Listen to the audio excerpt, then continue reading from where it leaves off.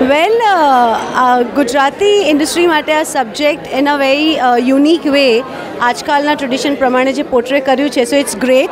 Parth has done the good job of music production and of course when I see any film I get happy and this is my Gujarati film and a lot of uh, oomph and lot of uh, malhars are there in the movie.